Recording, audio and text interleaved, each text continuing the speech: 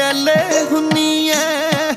ਕਦੇ ਲੰਡਨ ਖਾਣਦੀ ਏ ਗੁੱਟ ਡਾਮੇ ਚਾਹਦੇ ਜਾਂ ਤੂੰ ਲੈ ਦੂ ਕੰਗਣ ਖਾਣਦੀ ਏ